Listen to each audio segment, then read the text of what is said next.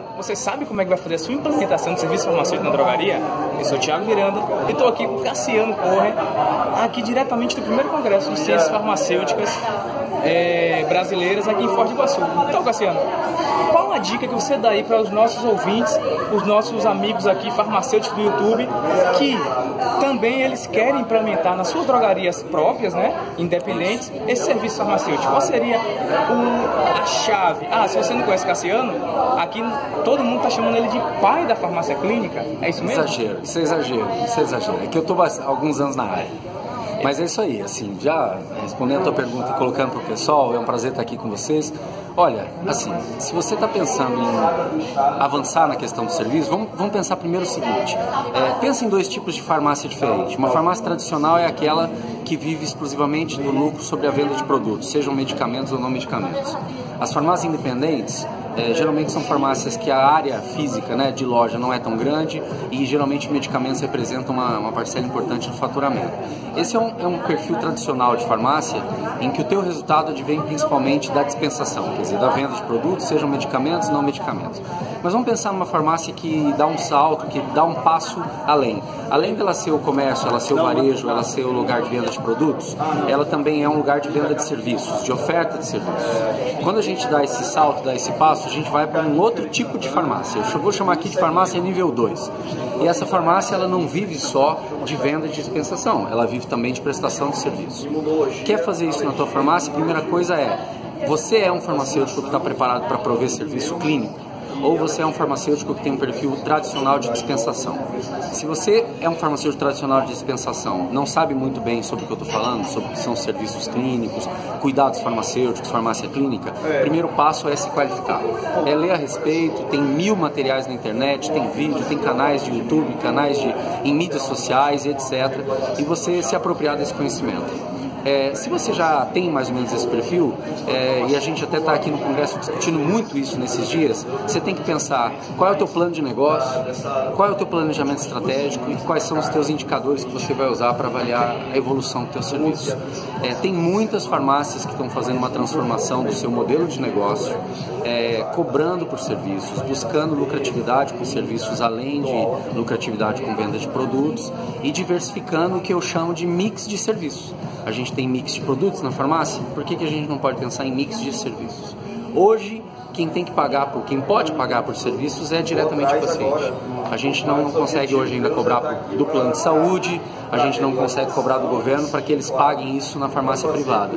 Então comece oferecendo serviços com plano de negócio, cobrando por eles. Mas saibam que essa transformação toda vai chegar no momento em que a farmácia vai ser um posto realmente de prestação de serviços importante no sistema, inclusive com sistemas de remuneração por terceiros pagadores, seja governo, seja planos de saúde. A gente realmente está caminhando para isso. Então você vê que a convergência de mercado é uma farmácia integrada com um consultório farmacêutico que ele realize serviços clínicos farmacêuticos. Então, a ideia é você falar um plano de gestão, fazer um plano, um planejamento estratégico, fazer um plano de negócio, ter além do plano fazer o acompanhamento e avaliar os resultados. Isso. E depois disso, é, é, que momento que entra essa avaliação de resultados? É no primeiro mês, na primeira semana, imediatamente, antes da montagem do consultório, quando ele vai, pode fazer algumas pesquisas junto com os clientes. Então, qual o momento ideal, na sua opinião, que entra essa avaliação e quais seriam uma ou duas avaliações mais influentes que esse nosso colega farmacêutico que está montando esse consultório, ele poderia fazer? Uma etapa importante é o piloto.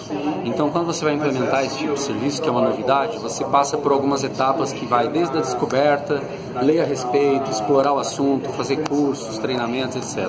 Chega uma etapa que é a preparação. Escrever o teu projeto, como é que vai ser o teu consultório, que você vai discutir quais são os teus serviços, qual é o preço que você vai cobrar, que jeito você vai fazer promoção, como é que é a tua estrutura física, o teu layout interno, sinalização do serviço, é, a jornada do cliente dentro do serviço, é, que tipo de evidências você fornece do teu serviço, quer dizer, a tua declaração de serviço farmacêutico, a tua receita, os materiais educativos e tudo isso. Quando você tem preparado tudo isso, você começa a atender.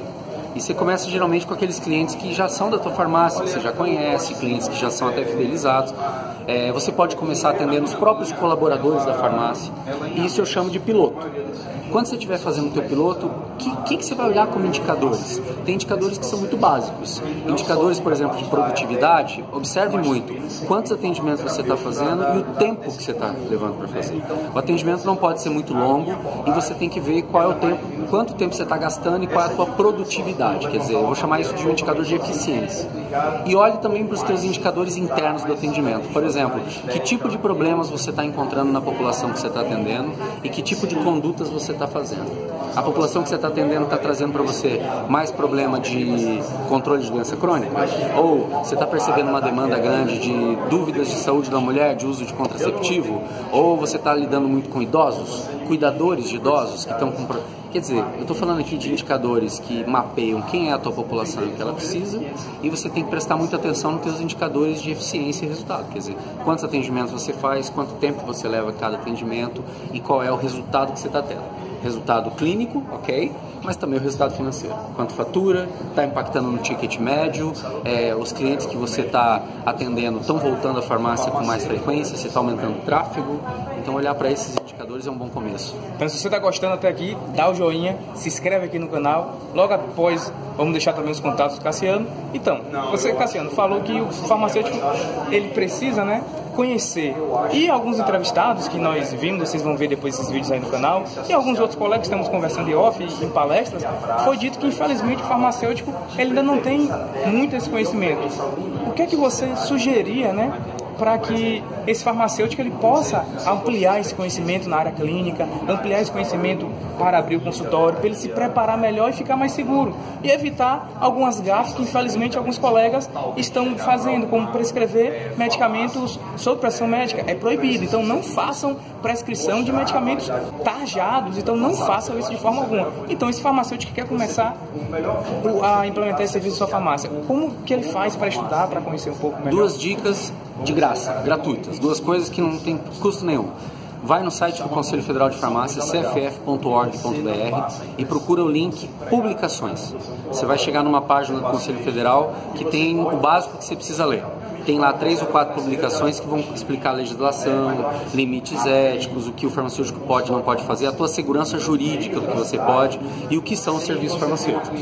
E outra, outra dica que eu dou é um site que eu ajudo a manter, que é o assistenciafarmacêutica.far.br. Assistenciafarmacêutica.far.br é um site que é só sobre serviços farmacêuticos, sobre esse movimento, com todas as informações gratuitas. Você se cadastra e uma vez por semana você recebe direto no teu e-mail, newsletter, vídeo, é, cursos gratuitos, artigos comentados, entrevistas com especialistas e tudo isso. E a gente, inclusive, pode divulgar e deve divulgar o teu canal do YouTube e teu vídeo nesse site também. Opa, muito obrigado.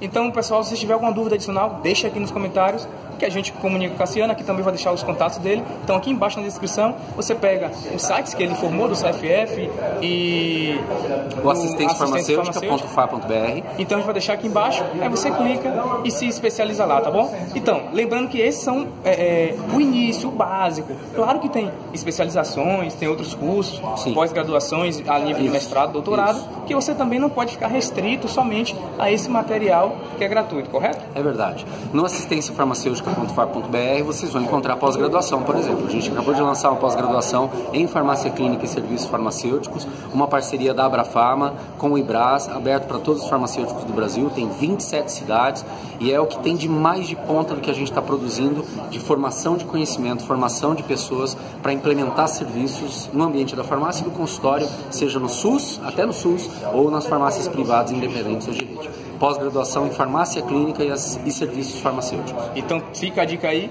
um forte abraço. Se você gostou desse vídeo, compartilha aí com um colega que por vezes não recebeu esse vídeo ainda, tá bom? Então um forte abraço.